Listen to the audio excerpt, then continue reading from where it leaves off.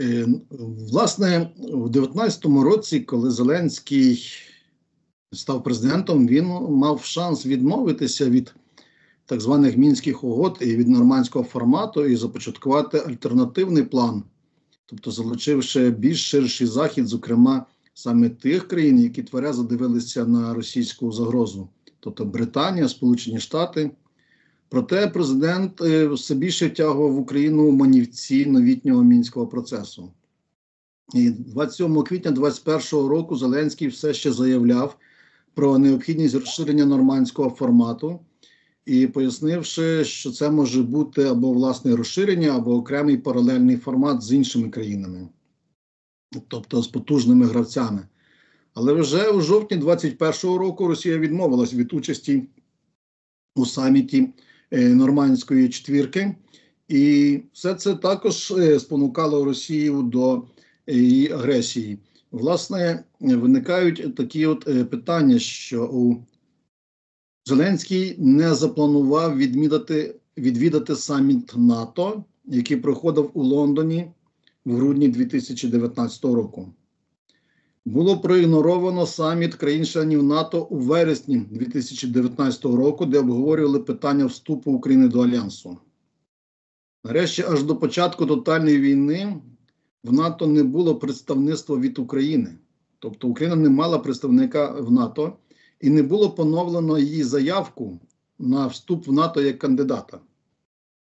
За три роки від президентства Зеленського Україна так і не виконала програму кандидата в члени НАТО і відмову від членства НАТО неодноразово обговорювали в команді Зеленського і до, і після 24 лютого 2022 року. Було зупинено держзамовлення на ракети українського виробництва Вільха, Нептун, а також протитанкового озброєння Стугна і Корсар. Не проводилась мобілізація і не відбулося озброєння військовиків резервистів територіальної оборони. Евакуація важливих об'єктів ВПК не планувалася і не розпочиналася. Не було навіть розпочато створення ешелонованої смуги оборони на півночі країни, проте тривав курс на розмінування околиць Чонгару і всього півдня. І все, і також не було проведено чистку СБУ, яке було засіяне російською агентурою. І Все це давало Путіну е, натхнення і стимулу для його загарбницьких нападів. Але разом з тим я хотів би нагадати про таку річ, як е, одна з причин або при, приводів, основні це демілітаризація, тобто пов'язане з НАТО і України, а друга це е, неонацизм, е, який пропагує Путін. І тут треба зазначити деякі нюанси. Коли була російсько-чеченська війна, Е, чеченські збройні сили і повстанці не називалися неонацистами.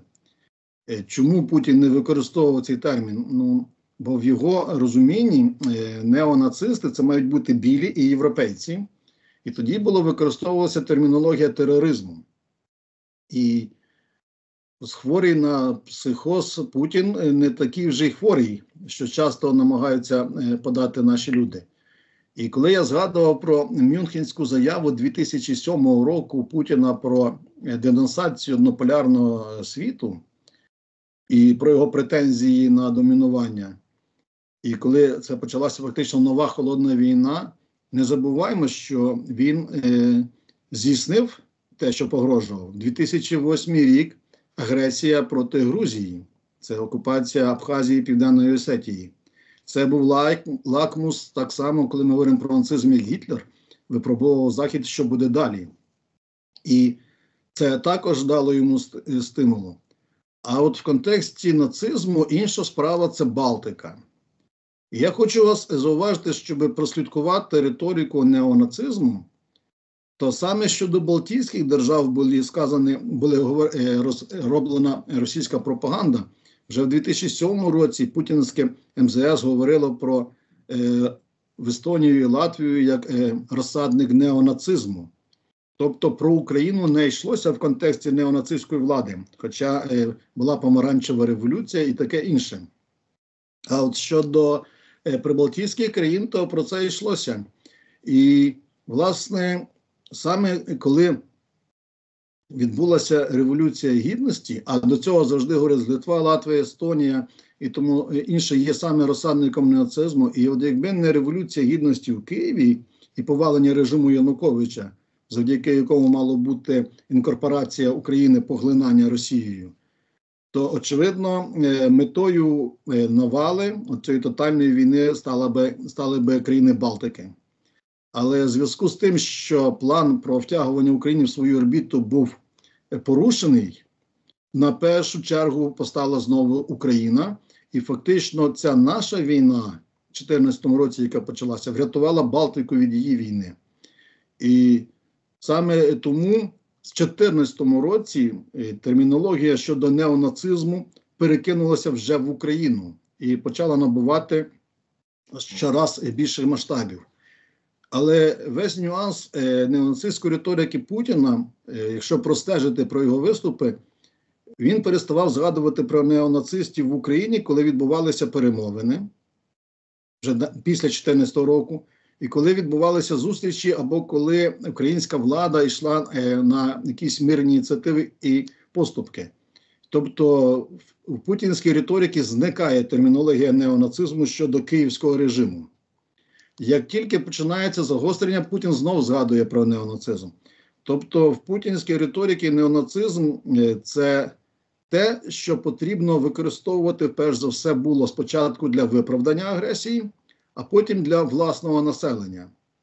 І оця траєкторія використання невикористання цієї риторики е, наявно засвідчувала е, про те, що ця, ці наративи є лише тактичними уловками Путіна в процесі досягнення своєї мети.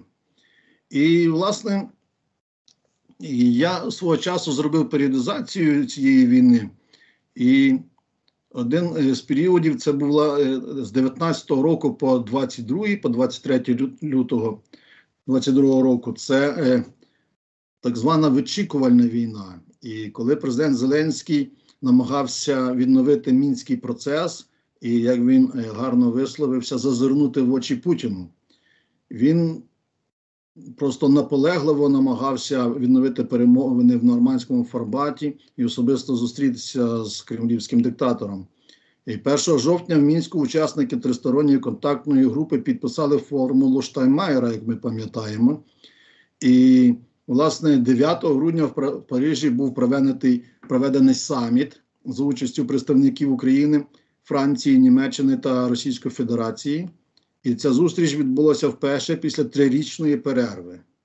І метою її було затвердження нової послідовності імплементування імплементування мінських угод та обговорення формули Штайнмаєра.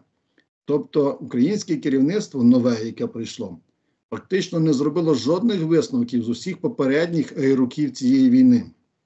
І було підписано загальний підсумковий документ, загальні узгоджені висновки Парижського саміту в нормандському форматі 9 грудня 2019 року. І ці домовленості передбачали, зокрема, імплементацію формули Штайнмаєра в українське законодавство згідно з версією, яку згодила нормандська четвірка і тристороння контактна група, група ще раніше. І, власне, обіцянки президента України здобути повну перемогу на саміті в Парижі зазнали краху. І 27 квітня 2021 року Зеленський заявив про необхідність розширення цього нормандського формату. Зокрема, е, у газеті Financial Times він закликав переглянути домовленості 2015 року і долучити до е, нормандського процесу Велику Британію і Канаду, і Канаду і США. Натомість е, весь цей час 2014 року і з 2019 року Росія е, використала, як я вже казав, про модернізацію своїх сил, передислокацію її, е, підготовку до санкцій, тому що Путіну загрожували, як ви пам'ятаєте, пекельними санкціями, які не були введені з 2014 року, в тому числі щодо фінансової системи, це про SWIFT, щодо газових торгів. І вже на початку квітня 2021 року. Російські війська перевезли багато озброєння і техніки з Західної та Центральної Росії і Сибірю до окупованого Криму та навчального центру Погоново. Це 17 кілометрів е, на південь від е, Воронежа. Тобто, і все це фіксувала е, світова натівська розвідка, і вона доповідала це Києву, і власне Київ це теж бачив. Е, Росія розмістила вздовж кордону з Україною 28 батальйонно-тактичних груп, зокрема в Брянській і Воронежських областях, це Західний військовий округ.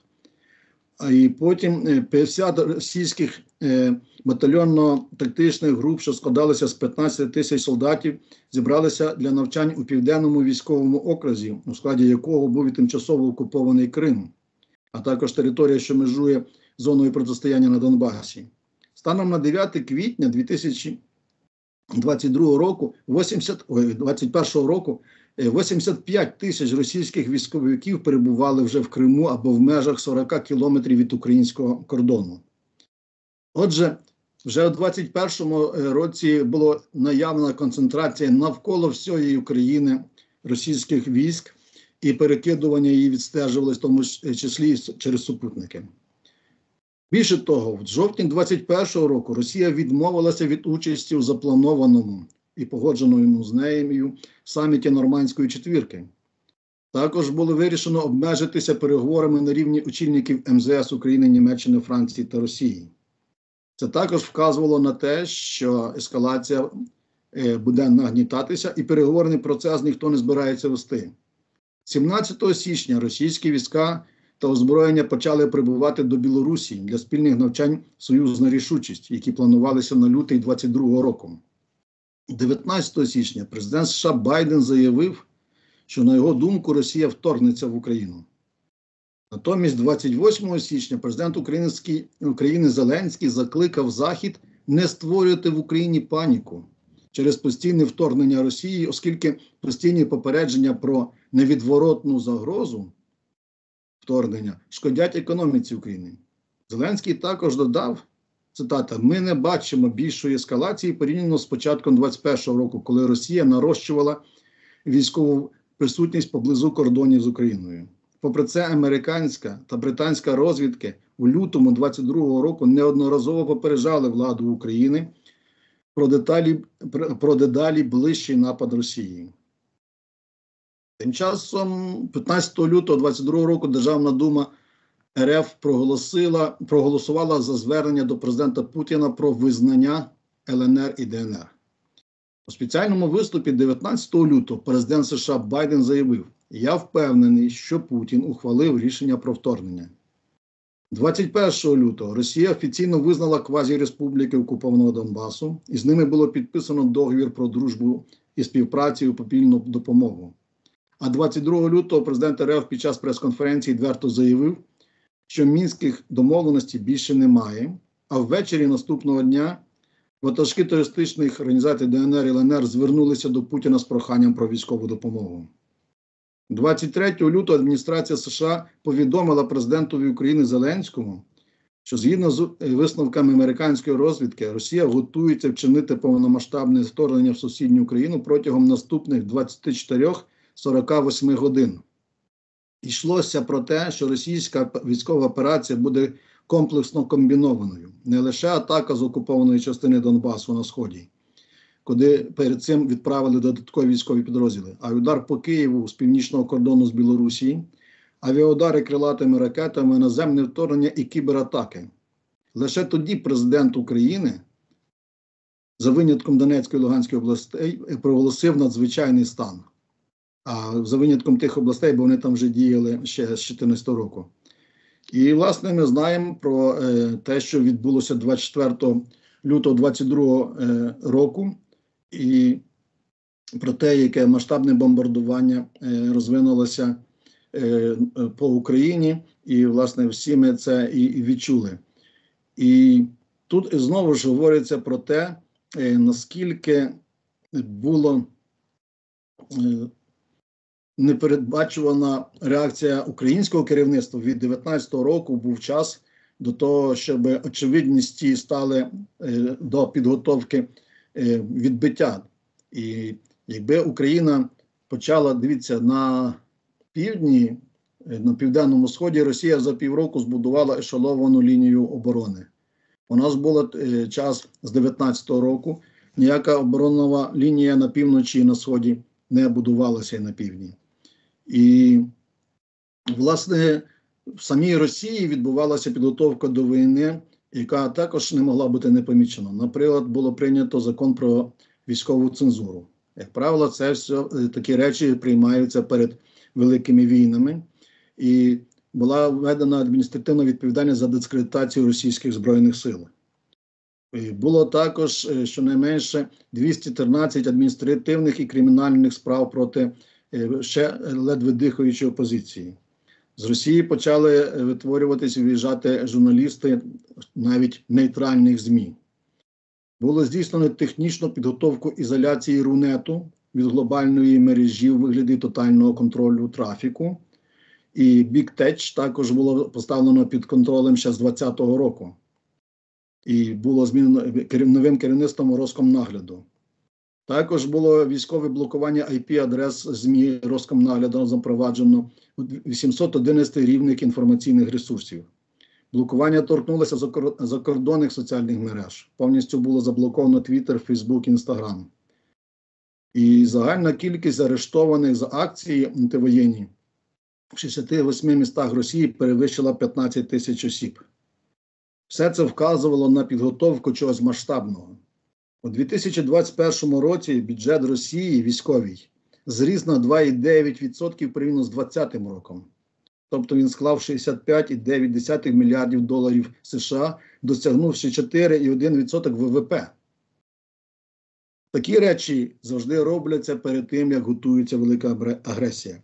Наприкінці березня, на початку квітня 2021 року, російські війська перевезли просто безліч озброєння навколо України, про що я вже згадував. І це також була ознака на концентрацію сил, і вона була очевидна. Тобто, навіть не треба бути військовим фахівцем. Але тим не менш, е, українська влада, е, попри заяви, очевидно, що можливо політичні заяви потрібно було робити, але тим не менш не застосовувала жодних заходів, щоб показати, що ми готуємося до війни і, власне, щоб це було видно, тому е, що заважало Путіну напасти? Ніщо, тому що ми будували шосе і розміновували південь. Я нагадаю заяви Єрмака. І е, я забув прізвище про те, що за два роки буде повністю розміновано узбережжя Південне для того, щоб робити хаби, туристично-торгівельні хаби з Кримом і з Півднем. І все це було дуже добре сприйнято Росією і вони підтримували це як мирні ініціативи, начебто крок до миру.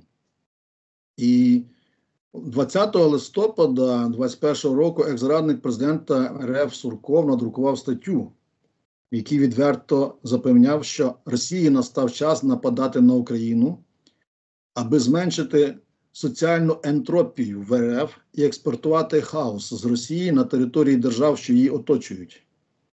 Я нагадаю, що саме Сурков був куратором Путіна по Україні і одним з головних конструкторів війни проти неї. І цинічно і відверто вказував на намір почати повномасштабну війну, і це було не приховано.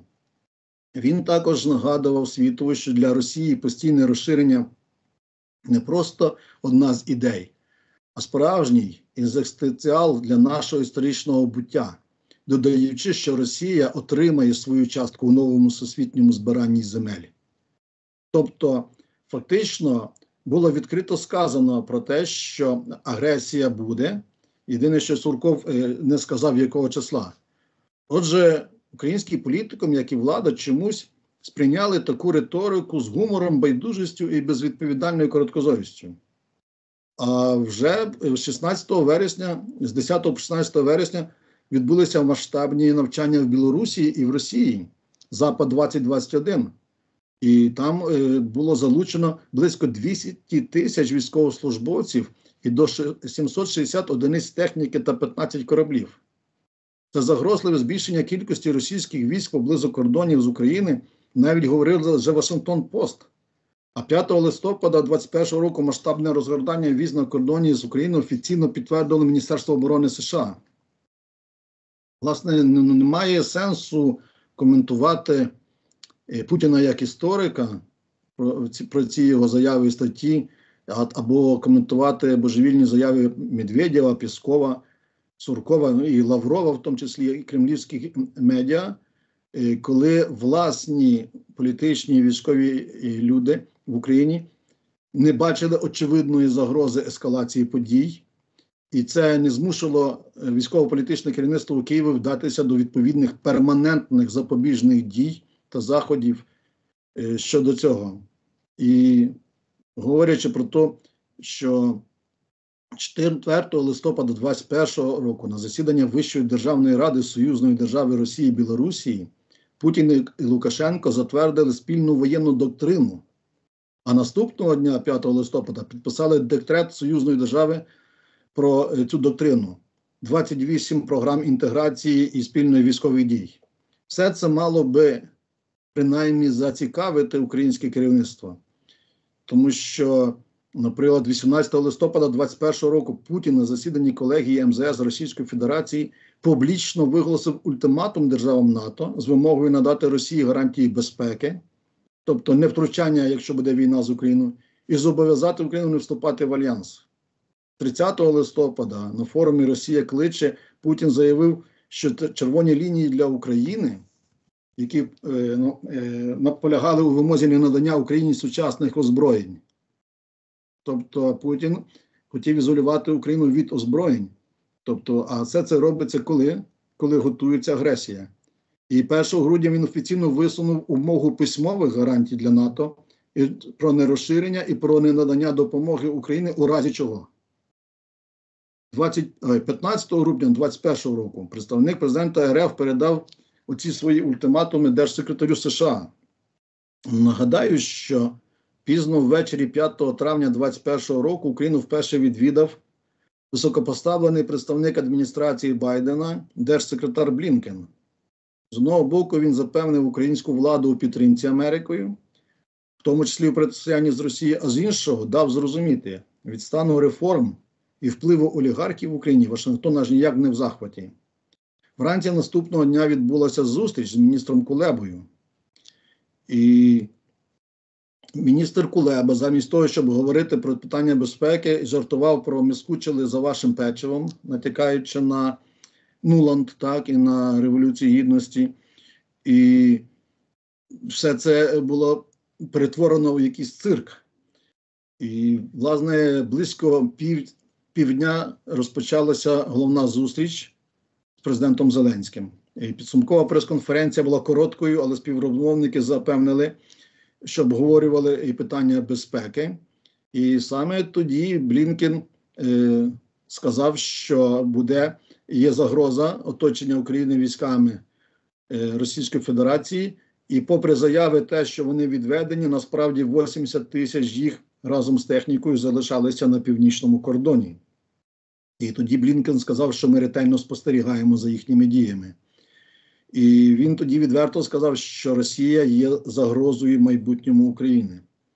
Свого боку, Зеленський лише запросив президента США в Україну. І паралельно українська дипломатія, зокрема Зеленський, провадили е, вересневу зустріч з Байденом у Вашингтоні.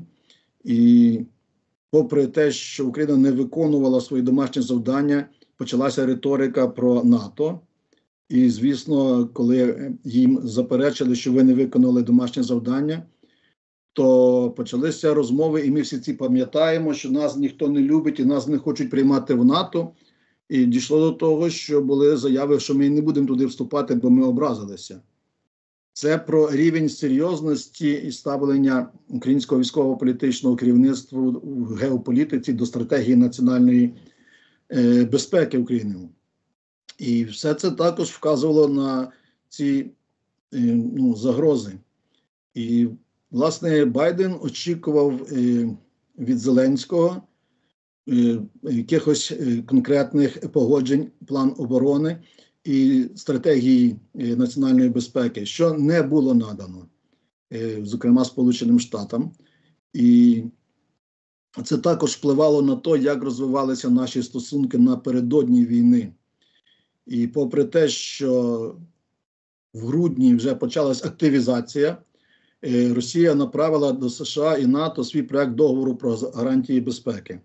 Знову е, публічно висувала ультиматуми. Е, Росія також робила і інші речі. Зокрема, в січні 22-го року, 10 січня США і зустрічі США і РФ в Женеві, а 12 січня в форматі Ради Росія НАТО в Брюсселі. А 21 січня в форматі зустрічі з державним секретарем Блінкеном і міністром закордонних справ РФ у Женеві вони е, загравали з НАТО і обіцяли не е, атакувати Україну, але при цьому е, зразу відбулися е, очевидні похолодження стосунків. І, власне, про що Україну постійно попереджали наші союзники, хоча де Юре вони і не були нашими союзниками, е, бо у нас не було жодного союзного договору з жодною державою, і ми не були членами НАТО.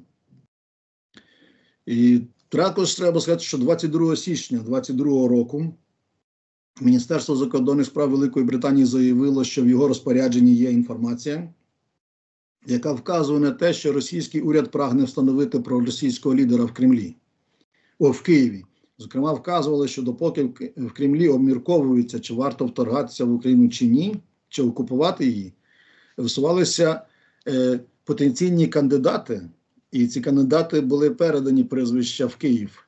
Зокрема, міністр закордонних справ Великої Британії Ліс Трас тоді наголосила, що оприлюднена її відомством інформація проливає світло на масштаби російської діяльності, спрямованої на підрив України і дає змогу зрозуміння мислення Кремля. Натомість, 28 січня президент України закликав Захід не створювати знову ж таки в Україні паніку. Що важливо також відмітити, це візит Путіна до Китаю і завершення Олімпіади. Я нагадаю, що коли в Сочі була Олімпіада, туди перекидувались війська під е, питанням того, щоб е, уникнути е, загрози терористичної. Насправді вони перекидалися туди, щоб потім оперативно прийти в Крим. Цього разу, е, 4 лютого в Пекіні, Путін разом з Цзіньпінем підписали спільну заяву про міжнародні відносини, які вступають в нову епоху та глобальний стійкий розвиток. У ній Китай фактично підтримав РФ її прагненні розширення і в претензіях до Заходу і до України. Москва і Пекін закликали Захід відмовитись від ідеалізованих підходів до холодної війни і відмовитись від допомоги Україні і і засудили формування якогось там будь-якого блоку в Тихоокеанському регіоні. Все це говорило про те, що йдуться перемовини про позицію Китаю в майбутній війні і вплив Китаю на допомогу Україні в разі, якщо вона виникне. Вони звинуватували, що НАТО е, робить конфронтацію.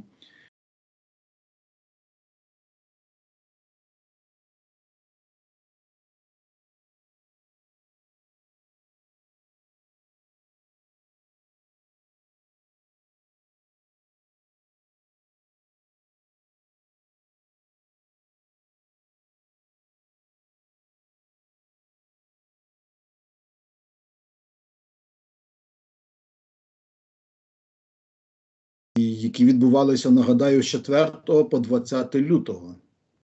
Відтак, Російська Федерація у собі Путіна фактично заручилася підтримкою Сі Цзіньпіня щодо вдертя до України і, і розв'язання цієї агресивної війни.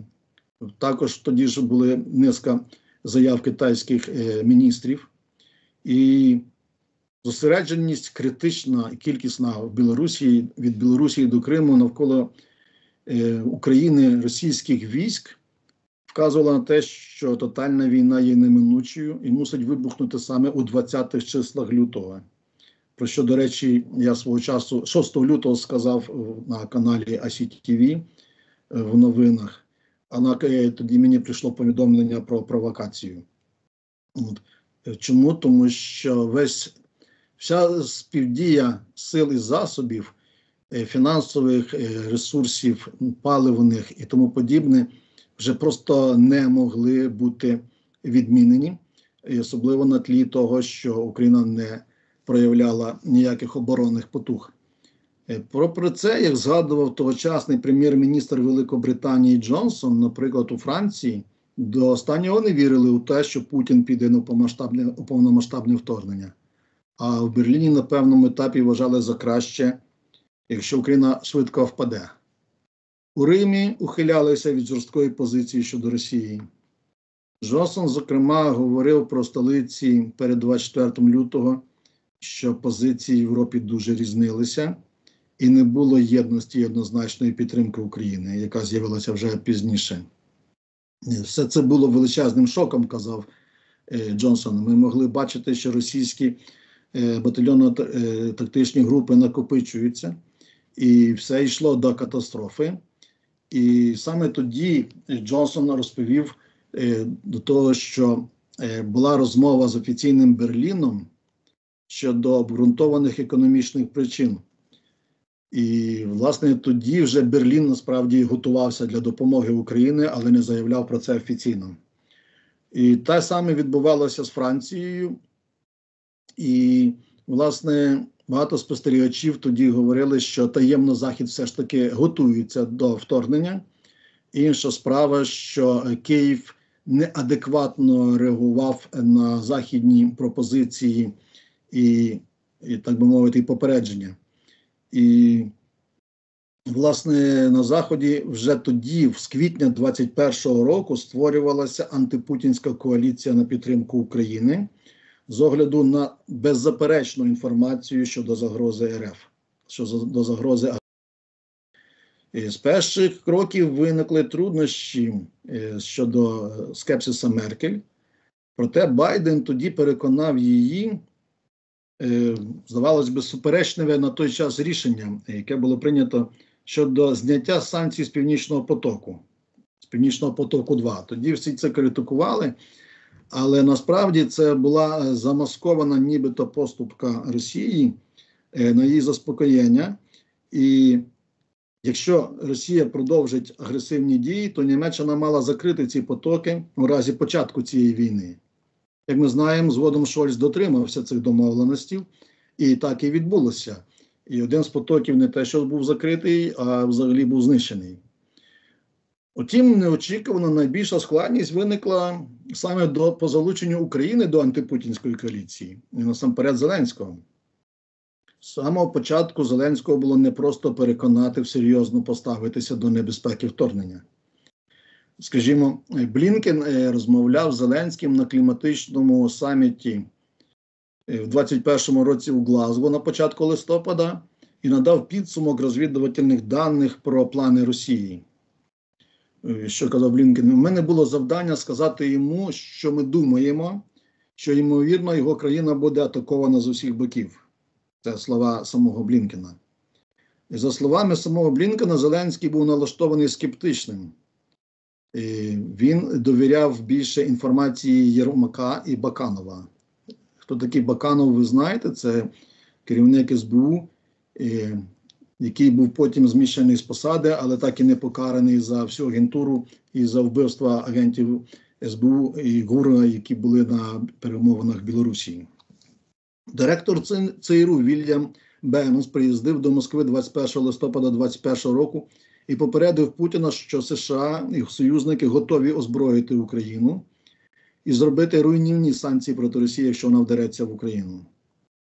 Е, вочевидь, Путін вважав, що Байден не зможе це зробити і блефує. І, попри це, створена е, коаліція, що важливо нам е, знати в кінці 2021 року. США ініціювала створену цю військову коаліцію за участі Велика Британія, Франція і Німеччина. І вона була підсилена країнами G20 і почала діяти на випередження. Тобто вони врахували скепсис Зеленського, так званий скепсис, і почали формувати проекти санкційних пакетів проти Росії вже наперед. А також, що важливо, вже напрацьовувались логістичні маршрути постачання зброї в Україну. Вони їх назвали трубопроводи зброї, які були мобілізовані. Для чого були мобілізовані нечувані дипломатичні військові логістичні ресурси цих країн. І вже тоді, з кінця 21-го, на початку 22-го року, було розпочато доставку зброї в Україну поза згодою Офісу президента. І ця зброя була розташована е, у лісах навколо Києва, і саме ви пам'ятаєте, що вона допомогла нам тоді відбити і знищити перші колони е, москалів, які прийшли в Україну. І все це було через цей таємний трубопровід зброї, який був е, започаткований ще в листопаді 21-го зброю, е, 21-го року, що дало нам можливість оборонятися і не впасти за три дні, так як планували росіяни. І, власне, Захід цілком усвідомлював весь цей ризик, але в грудні Блінкін і його колеги почали е, це от серйозно обговорювати. І була зустріч міністра закордонних справ Групи Семи в Ліверпулі 11 грудня, і вони е, публічно пообіцяли, що Росія буде матиме, матиме серйозні втрати у разі вторгнення. Це говорить е, про те, що на заході усвідомлювали, що агресія фактично відбудеться, і вони почали негайно е, задіювати свої ресурси і свої можливості, які в них на той час були, для того, щоб озброювати ЗСУ, попри те, що українське політичне керівництво навпаки робило все, щоб цього не відбулося. І це дало привід Джонсону заявити, що коли Росія почала вторгнення в лютому і ставлення Європи швидко змінилося. Чому? Тому що е, німці, французи, італійці і Сполучені Штати Америки, британці е, по факту були готові до цього вторгнення і готувалися до нього, попри те, що е, не, вдалося домовитись з Путіним, і дипломатичні кроки все-таки е, застосовувались. І Джонсон е, якраз наголосив, що це ключовий момент. Е, початку війни, початку в тому, що Україна вижила. Водночас розвідка США давала Україні попередній план вторгнення. Тоді говорилося про 150 тисяч армії Росії, і яка мала зробити блискавичний обезголовлюючий удар відносно невеликої групи елітного спецназу в Києві. І таким чином е, мав бути захоплений аеропорт в Гостомелі і на захід від столиці України, і потім він мав бути використаний для швидкого просування військ РФ в Києві і постачання нових військ. І саме про схему захоплення аеропорту було передано е, розвідкою Сполучених Штатів і Британії офіційному Києві. І про це, зокрема, говорив генерал Волтерс, командувач НАТО. І вони е, про це говорили ще в грудні 21-го року і в січні 20 другого року, коли вони робили так звані наземні лінії зв'язку, які дозволяли би швидко доставляти зброю в Україні і точки боєприпасів і практичні деталі. І це були, зокрема, стінгери і джавеліни, як ми пам'ятаємо, і вони були в Україні ще до вторгнення. І глава ЦРУ Берст в січні 22-го року ознайомив Зеленського з цим планом.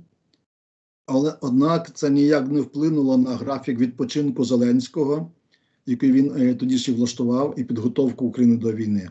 Тобто, коли Захід почав щось робити, е, Зеленський спокійно пішов у відпустку і не було зроблено жодних е, дієвих заходів. Столтенберг, генеральний НАТО, ще 2 лютого заявив, що альянс спостерігає збільшення присутність військ, і загальна кількість додалася ще 30 тисяч. Тобто е, повідомляли, що загальна кількість російських військ навколо України досягла вже 190 тисяч особового складу. І після того, як 9 лютого Росія фактично вичавила Україну з Чорного та Азовського морів і перекрила. Під цим приводом, е, тобто е, приводом було союзна рішучість 22 морські навчання де фактично вони завели під приводом е, цього навчань свої флоти в ці моря і вже ізолювали Україну е, з морського боку. Ну а далі, як ми знаємо, відбулися ті законодавчі акти, які були прийняті е, в Росії. І що важливо також відмітити, що перші доби лютого, тобто в переддень Великої війни, Е, на Донбасі е, нарахували е, збільшення кількості обстрілів. Тобто, якщо 18 лютого було 66 обстрілів на лінії розмежування, то 19 лютого їх вже було 136. Найбільша кількість обстрілів на фронті за один день від 2017 року. 20 лютого 80 обстрілів, 21 лютого 84, 22 лютого 96. І більшість цих обстрілів були зроблені з важкої артилерії. Все це говорить про те, що ситуація нагніталася, і ось ось має бути е, велика війна. 18 лютого Сенат США затвердив резолюцію, де заявив про непохитну підтримку США демократичної України. Це говорилося про те, що Америка давала сигнал, що ми знаємо, що ось ось щось почнеться. І також там було заявлено про нарощення воєнної сили. І США тоді сказали, що застосовують всі наявні інструменти, якби, щоб утримати Росію від війни. 19 лютого Байден заявив, що впевнений про те, що вдертя буде. І все це е, вказує на те, на різність аналітичних підходів до національних загроз і безпосередньо до Великої е, війни. І розвідка США вважала, що заяви російської міноборони про відведення військ від кордону з Україною були навмисним обманом, хитрістю, спрямованою на те, щоб ввести в оману США і інші держави. А на відміну від е, Сполучених Штатів, британська і від британців німецька розвідка БНД вважала, що е, навчання готуються до найгіршого, але якщо ми зробимо відповідний тиск, і Україна продемонструє підготовку до відбиття, то вторгнення може і не бути. І, зрештою, навпаки, е, е, віце-канцлер Німеччини Роберт Габек додав, що наші німецькі спецслужби прогнозували, що Путін окупує всю Україну через 24-48 годин. Однак Зеленський продовжував ігнорувати всі ці попередження і говорив, що ми самі знаємо, що робити. Цих заяв є повно в інтернеті, ви зможете це самі е, відстежити. І він говорив, зокрема, президентові Сполучених Штатів, у нас є своя розвідка, і вона свідчить про те, що Путін не має намір напасти на Україну. А ваша американська розвідка каже, що так. Тобто, і потім сам відповів: я не знаю, чого хоче президент Російської Федерації, тому пропоную йому зустрітися зі мною. Тобто, фактично, у переддень війни ще продовжувалась риторика зустрітися очі в очі знов. Е, дуже цікавою річчю є оприлюднена стенограма розмови президента Франції Макрона е, з Путіним 20 лютого 2022 року. Я нагадаю, що ця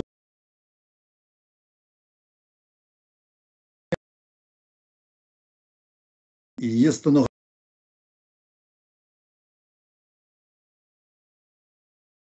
Про те, що після розмови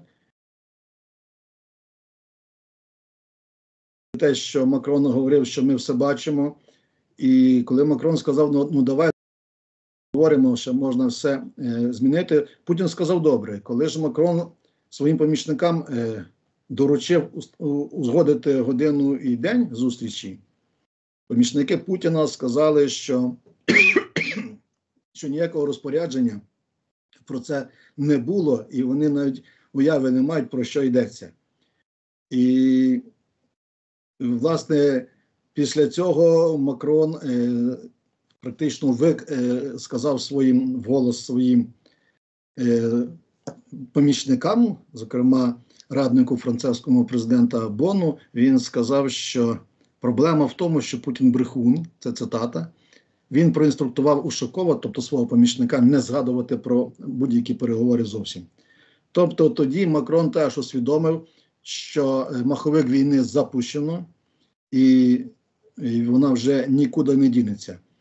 Тобто, ну а далі, ви знаєте, 21 лютого офіційно були визнані ці квазі республіки, і Власне, потім е, був підписаний указ про визнання е, президентом Росії, і потім запросення про допомогу. І все це було е, прилюдно на наших очах, що також мало попередити військове керівництво України, що з дня на день щось відбудеться, бо просто так ці всі речі, якщо зробити їх комплексно, це очевидні речі. І... Але 22 лютого у Києві Зеленський заявив: ми, ми віримо в те що війни не буде, потужної війни проти України, і не буде широкої ескалації з боку Росії. Якщо буде, то буде запроваджено воєнний стан. Тобто, все це говорить про те, що є ну, очевидні якісь е, ну, на рівні підсвідомості, е, бо це російська російський синдром в підсвідомості українського політичного керівництва. І це говорить про те, що ми не готувалися до цієї війни, хоча е, так, як потрібно було б готуватися, і те, що те, що ми говорили в першій частині, і багато в чому, за ці жертви, які відбулися, е, лежать саме на українському керівництві. Зокрема, знаючи про масштабні наступи, не було евакуйовано населення з великих міст, навіть е, поетапно. І фактично е, люди цивільні опинилися живим щитом. І цих жертв можна було уникнути. Не були евакуйовані військові промислові заводи і підприємства на півночі України. З 19-го року також так і не було поставлено на порядок денний побудова патронного заводу. Хоча за сучасних технологій це можна було б зробити е, досить швидко. І все це говорилося про те, що, е, наприклад, в 2 березня потім е, в нас в розпорядженні ЗСУ опинився планувальний документ одного з підрозділів батальйонів тактичної групи 810-ї окремої бригади морської піхоти Чорноморського флоту РФ. І в них було вказано, що вдертя в Україну було затверджено 18 січня, тобто остаточно було вирішено, що цей напад буде здійснено, і операція мала е, е, тривати протягом 15 діб. Тобто за 15 діб е, Україна мала підписати після повномасштабного наступу питання про капітуляцію. І це є нічим іншим, як свідченням того, що багато чого було відомо нам. Ну крім того, нагадаю, що міністр закордонних справ України, а потім перед війною посол України в Великій Британії Вадим Пристайко е, говорив, що е, ніхто тоді в Британії не бачив, як це могло по-іншому закінчитись крім війни.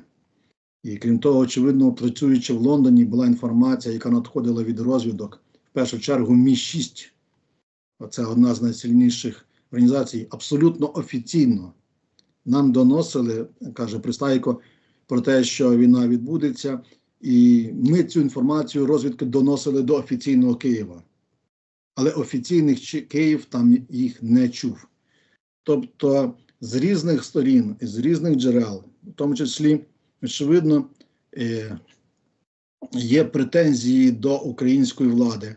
І, власне, є кілька питань, зокрема, як я вже питав, чому ігнорувалися саміти НАТО в Лондоні в 2019 році, е, в грудні, і потім е, у вересневі саміт НАТО ігнорувався.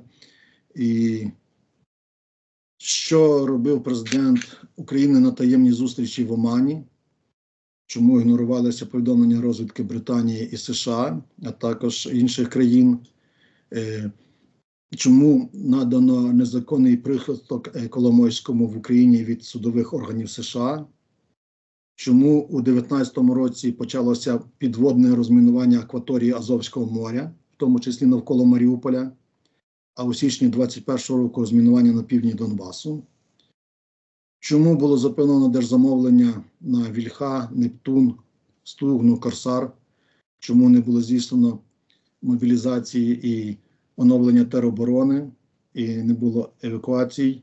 Йдеться ж про розмінування того з Чонгару і ігнорування доповіді Бернса, це директора ЦРУ щодо атаки на Гостомель і оборони цього аеропорту.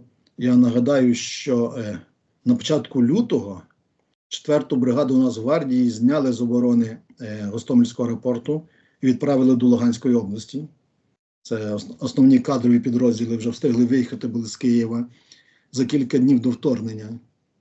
І ті е, спецзагони і їхні спецпідрозділи, які робилися окремо ЗСУ спільно з, з, з іноземними спецслужбами, е, змогли протистояти цьому, в тому числі за рахунок добровольців.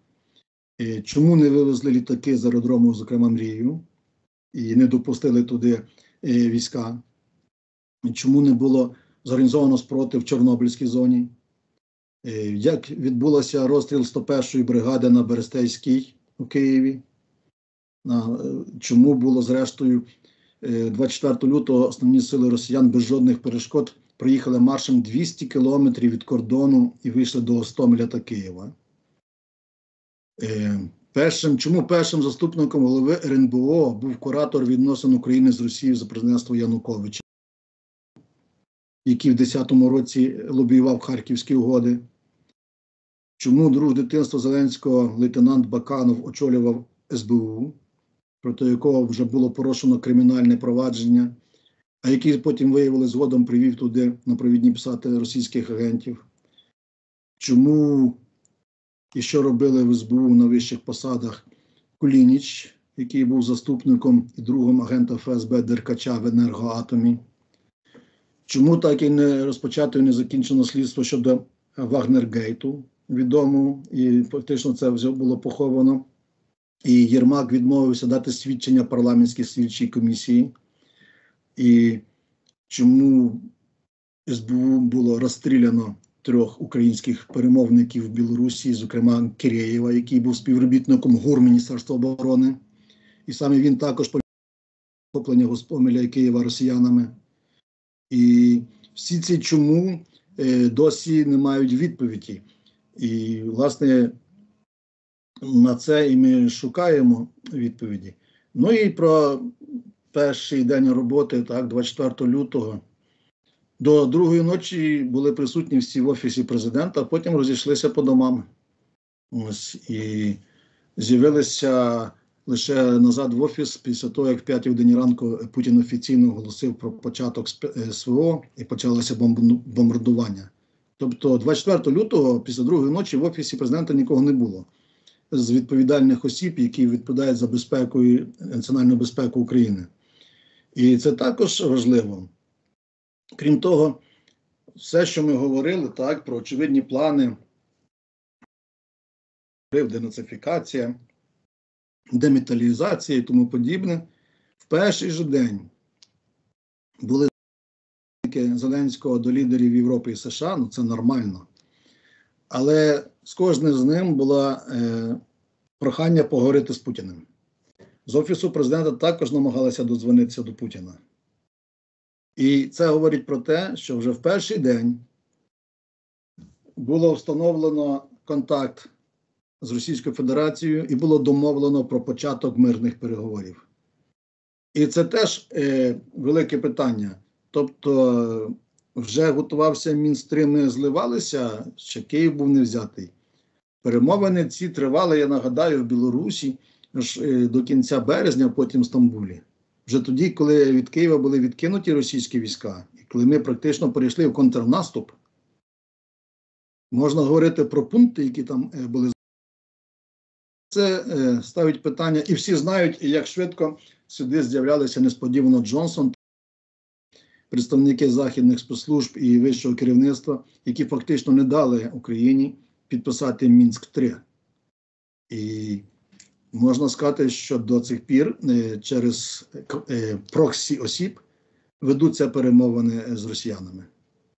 Дякую на цьому, якщо не так довго було. Дякуємо, Дякуємо пане Павловичу, за змістовну і надзвичайно цікаву е, висвітлення даної тематики і пояснення ключових аспектів. Дійсно, надзвичайно багато питань, і е, ви, як експерт і фахівець е, з даної тематики, частково нам даєте розуміння багатьох аспектів. Шановні колеги, переходимо до дискусії. У кого є питання?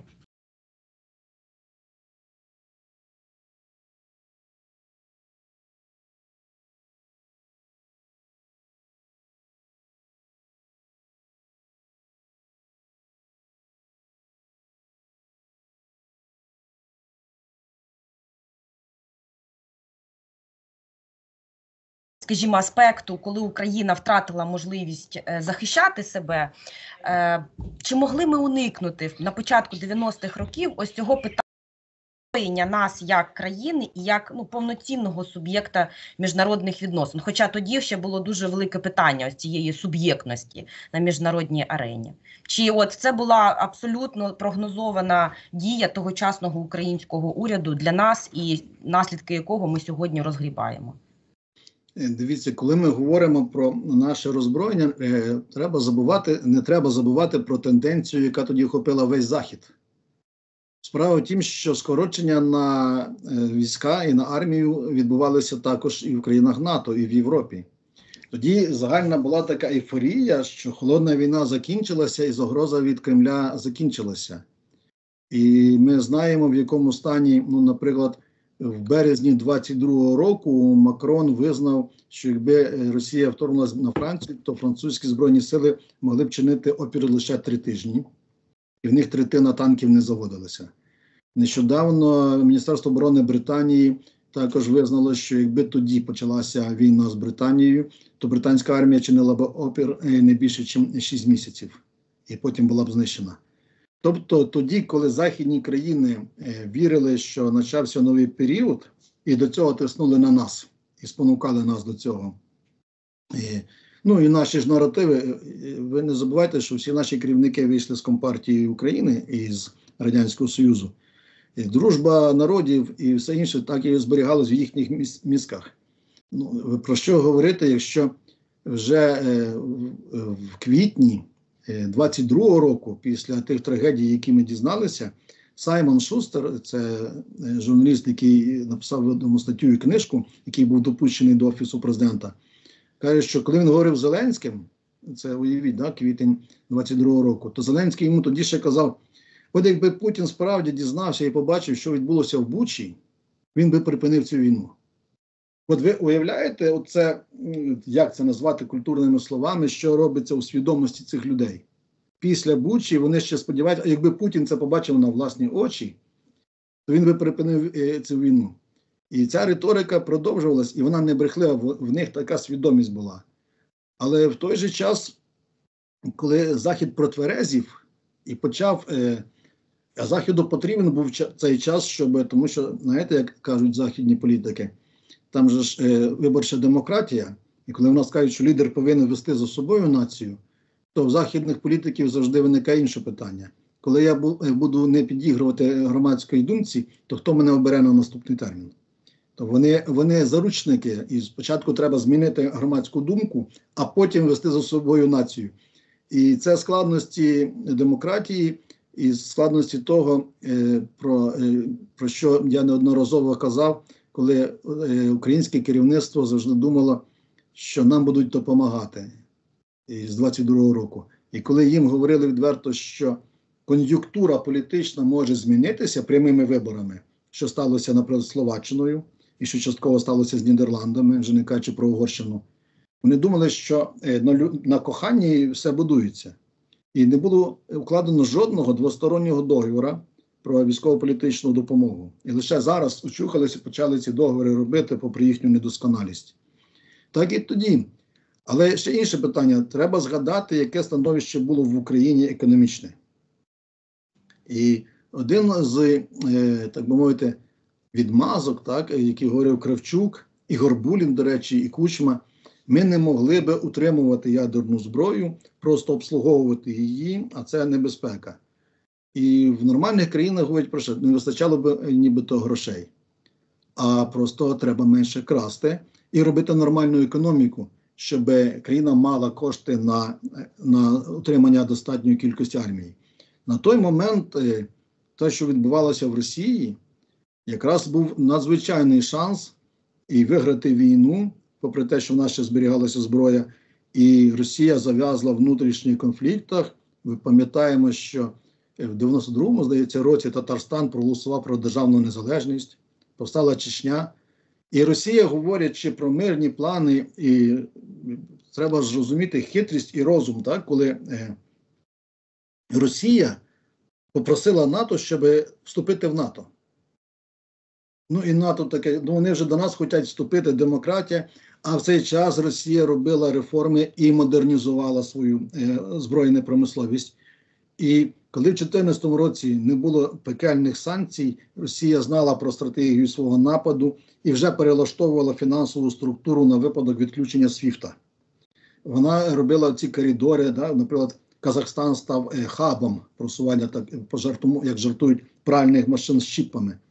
Все це е, Росія до цього готувалася, тобто вони моделювали можливу ситуацію, яка буде впливати на них. І коли вони підготувалися, вони зробили удар. Чому не раніше і не пізніше? Тоді, коли вони були готові, і в них ще продовжується зараз модернізація. Чому вони так швидко стали на військову економіку? тому що вони до цього готувалися. Ну і при диктаторських режимах це завжди легше робиться. Тобто, основних три причини, чим е, були в нас можливості, звісно, були. Військово-промисловий комплекс е, був дуже потужний, не кажучи там про стратегічні бомбардувальники, про відому кольчугу, яку потім е, за рахунок е, дезінформації спецоперації у нас практично закрили. Е, Ми ще літали в космос, у нас був науковий потенціал, але у нас е, був завал з грошми, як це все утримувати. Е, У нас е, були проблеми з структурою держави. Е, Ми до цих пір живемо в УРСР, а це не життєздатна структура, тому що СРСР розвалився, а УРСР теж не може витягнути. Від того, що ми назвали це держава Україна, нічого не змінилося. Тобто, сама внутрішнє життя в Україні говорило про те, що е, це неможливо. Плюс е, агенти впливу. Подивіться, у нас е, кожний керівник, починаючи від Кравчука, якщо згадати, були скандали з морськими портами на самому початку про його участь в фінансових операціях Суркісів СДПУО. І потім всі наші політичні керівники, так чи інакше, були пов'язані бізнесом, грошми з Росією. І крім свідомості, були також гроші. І друге, це рішучість. Е, Коли сформувався цей олігархат, не було сенсу їм щось зробити. Міняти державу це значить е, позбавити себе влади. І в зв'язку з тим, що вони були пов'язані бізнесом і свідомістю з Росією, вони не могли уявити це. А коли сталося, то легше вони пішли на торгівлю, тому що е, в них були інтереси. І все це довело нас до цього, що відбулося. Ну і плюс ще, коли ми говоримо про НАТО, про Європу, не треба забувати, у нас дуже швидко історична пам'ять коротка. Скільки відсотків українського населення хотіло вступити в НАТО і Європейський Союз до Революції Гідності? А це один з тригерів, на які реагувала Європа і НАТО. Тобто, коли ми перекидаємо провину на е, лідерів, не треба забувати, що суспільство також цього не хотіло. Ми є теж лакмусом того, що відбувається. І все це нас обмежувало від того, ну, заднім числом всі розумні, так що відбулося вчора, ми вже знаємо. І саме тому я говорив про е, короткозорість, коли небезпеки немає, але розумні держави моделюють можливі розвитки подій стратегічно в геополітичній безпеці, в тому числі економічно. Е, На жаль, е, до цих пір цього не відбувається. Україна не має ні свого плану перемоги. Е, Пам'ятаєте, була істерія закрийте нам небо, була істерія дайте нам більше зброї. А як давати більше зброї, коли ви не кажете, а що ви хочете з нею робити? Як давати зброю, коли ви ведете перемовини в Білорусі і в Стамбулі? Ми дамо вам зброю, а ви завтра мир заключите з ними. І Захід знав ці умови миру. І вся ця зброя попаде до, е, до Росії. Тобто не можна одною рукою вимагати санкцій, а самим торгувати. Не можна одною рукою казати допоможіть нам битися, а другою рукою цілуватися в засос з Путіним.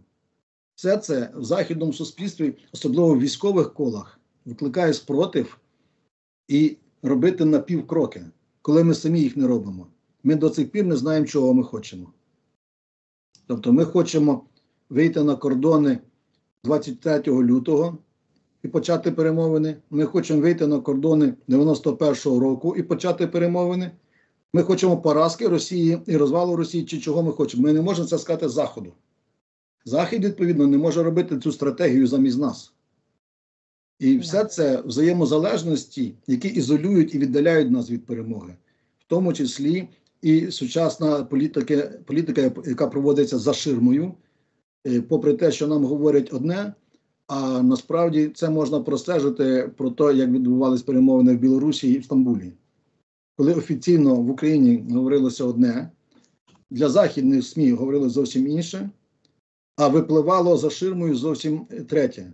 І коли перемовини і підписували, і домовлялися і про русський язик, і про все, а вимога фактично була не забороняйте, не називайте нас нацистами. Тобто, цей примітивний підхід, він е, безумовно, е, попри те, що нам допомагають, це допомагають Збройним силам України і українському народові. Е, Кажуть, навпаки, тому, що відбувається.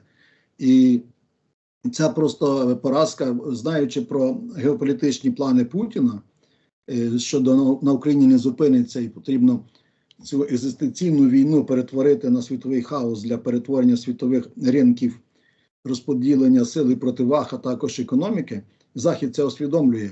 І попри таку політику української влади, Захід мусить і буде Україні допомагати, тому що питання стоїть для нього вже не в Україні. Це вже екзистенційна світова війна. Так, на жаль, але це дійсно так. Павло Павлович, у мене ще є одне питання. Е, Скажіть, будь ласка, е, от ну я все одно переконана в тому, що спецслужби як Європейського союзу, так безпосередньо і Сполучених Штатів Америки, вони активно працюють, і ми про це з вами добре розуміємо і знаємо.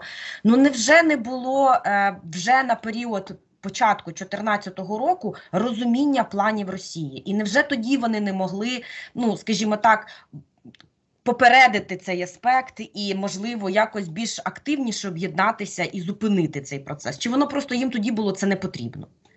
Е, Дивіться, перше, це тимчасові сан- санкції, певні обмежені були введені проти Росії ще е, після е, атаки на Грузію у 2008 році. І Росія це усвідомлювала і почала е, робити свої запобіжники. Друге, Захід е, все ще сподівався стримати Путіна е, тим, що внутрішня економічна на межі колапсу економіка Росії була ну, як, як казав Джон Маккейн, да, це велика бензоколонка. І це мало стримати Путіна.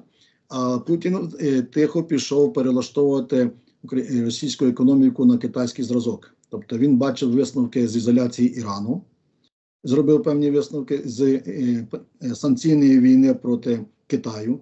І не треба забувати величезна територія Росії, яка дає можливості внутрішнього ресурсного е, обходу і обігу товарів і коштів, але поступово вивольнявся від західних впливів, в тому числі фінансових.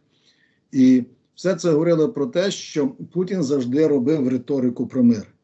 І навіть зараз е, Путін завжди заявляє, що він хоче миру, це ж Київ не хоче йти на перемовини. Тобто він відкушує, потім каже, давайте перемовини. І це отруювало Захід, де вони до останнього намагалися, пам'ятаєте, навіть в Україні, коли Медведєв став президентом, о, ну, ну нарешті інший чоловік. Ну, Це коли в Північній Кореї молодий е, диктатор прийшов замість старого, а він вчився в Швейцарії. Ну, нарешті Північна Корея зміниться, бо він в Швейцарії вчився. Оця ілюзія, яка є в ліберальному західному суспільстві, коли в нас було трошки інше, це ілюзія наших лідерів, всі вони вийшли з Совєтського Союзу, і в них в мозгах це, то в Заходу була інша ілюзія, що ну ти ж хочеш, щоб твоя держава нормально торгувала і жила. А Путін, я піду на перемовини, я вступлю в НАТО, мир залежить від миру з вами. І всі ці оманливі, да, ну пам'ятаєте, як я казав, коли Макрон прозрів, каже, що він же патологічний брехун. Це треба було прозріти, тому що вони діяли дуже е, вишукано. І вони продовжують е, робити те, що, наприклад, на е, закордонну пропагандистську кампанію, і в тому числі на втручання у вибори від місцевих до майбутніх, збільшилося у 100 разів інвестування Росії, створення громадської думки. Давайте згадаємо, як не могла Сполучені Штати вступити в Другу світову війну. Бо була залежність Рузвельта від, громадської думки, і, потр- і треба було зробити так, щоб е, відбувся Перл-Харбор, а потім ще три роки для того, щоб запустити військову економіку, щоб нарешті вступити у війну по-справжньому, не тільки на словах. Західні демократії, в них процедура. Процедура завжди дуже довга, і вони залежать від цих процедур. І крім того, не треба забувати інше, е, про що е, думають наші люди. І, бо я завжди запитую, коли було знищення Сірії, скільки з наших людей виступили за те, щоб допомогти чимось Сірії? Зброєю, грошами, нічим. Коли біда торкнулася нас, люди ображаються, чому Захід не реагує. Попри те, що як він вже відреагував. Західне суспільство е, живе у теплій ванні. Е, Вони нам е, щиро допомогли е, від своєї західного ліберального співчуття, а потім на кожного західного людину збільшився податок. Гроші почалися забиратися від них, бюджет почав зменшуватись, і почалися певні підвищення цін і податків і тому подібне. І західний пересічник, чому я особливо той, що за океаном. А, І коли ми там обурюємося Америки, питання ж стоїть не про мігрантів в Америці, питання стоїть про наркотрафік, про е, фактично громадянську війну зі злочинністю. І питання стоїть про руйнування соціальної системи в Сполучених Штатах. Тобто, це внутрішня загроза, де е, кожний безпосередній, ну, скажімо, фермер, так, він навіть не знає, де та Україна знаходиться. Але це внутрішнє його бентежить. І внутрішні вибори в США впливають на нас. Є питання так, не тільки що ми робили 30 років, що ми робили е, після того, як е, війна стала кволою, да, де позиційна війна почалася з 16-го року, коли не було масових бомбардувань. Що ми робили з 19-го року? І Захід теж це запитує, що ви робили, і де то все. Ви що не знали, що відбувається з 2014 року? І оце це от, е, ця звичка людей, що нас продали, нас зрадили, це все російська, російська свідомість. Російська свідомість, яка ми в оточенні нас всі зрадили, об'єднаємося напроти е, вождя. І це залишки радянсько-російської свідомості, що є в Україні. Тобто винні всі. Винен Путін, винен Захід, е, винен е, невідомий дядя. Ніхто не дивиться в дзеркало. І коли ми почнемо дивитися в дзеркало і адекватно оцінювати наші плюси і наші мінуси, очевидно, що зміниться. І це також проблема свідомості. Тому е, треба треба також е, сказати про те, що е, західна е, економіка е, 2008-2009 рік, ви називаєте, яка криза була. І потім була повторна економічно-фінансова криза, яка захлинула Захід, і він рятував себе від колапсу економічного. І це також використовував Путін, коли обирав моменти. І все це також важливо. І вони тільки зараз дійшли до того, що треба збільшувати або хоча б виконати 2% натівських е, вимог на озброєння і на ВВП від е, на, на то, щоб ВПК. Е, фактично, склади ніхто не думав е, масованість цієї війни. Західні склади порожні вже. А ті країни, які ведуть світову боротьбу, Сполучені Штати, Британія, вони мають щось лишати, тому що в них ще проблеми. Е, е, майже виникнула війна е, Венесуели проти Гаяни, проблема Тайвані, проблема Океанії і підводних дротів з інтернетом, проблема Філіппін і Індонезії, і проблема зараз загострюється на розподілу Арктики. І на все це треба також зберігати, в тому числі і фінансові, і військові потуги. Світ, крім України, існує ще інший. Ми розуміємо проблему нашу особисту, але якщо ми хочемо мислити тверезо, ми повинні це розуміти. І те, що нам надається, е, криза ж настала не тому, що не хотять. Просто неможливо запустити цей маховик до нової гонки озброєнь. Чешські заводи працюють без вихідних 24 години на добу, збільшили своє виробництво вже у 100 разів і не вистачає озброєння, тому що ніхто не готувався до такої війни.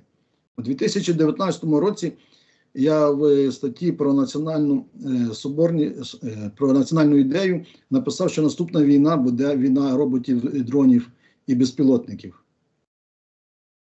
У нас е, міністр е, цей е, головнокомандуючий в минулому році сказав, що невже от, я зрозумів, що така війна має бути 21 століття.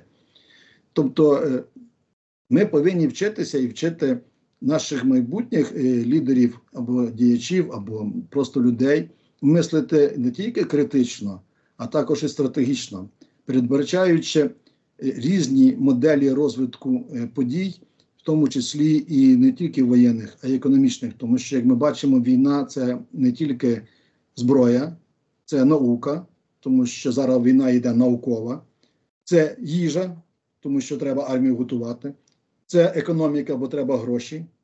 Все це пов'язане. Тобто, якщо щось одне з цього кластеру викинути, все це механізм зупиняється. І, звісно, така країна, як ми, цілком е, може модернізуватися і діяти більш ефективно. Інша справа, що під час війни ми не бачимо жодних зрушень у переоформленні економічних стосунків, в економічній моделі держави. В глобально-політичній нашій політиці. У нас нема стратегії зовнішньої політики, у нас е, нема внутрішніх перетворень. Хоча війна вона оголяє всі нерви і всі проблеми. І це є привід для швидких дій, коли народ підтримує. Дій не відбувається. Президент Зеленський сказав, що він не може відмовитися від п'ятьох людей, які навколо нього. Це квінтесенція всього, що відбувається в Україні.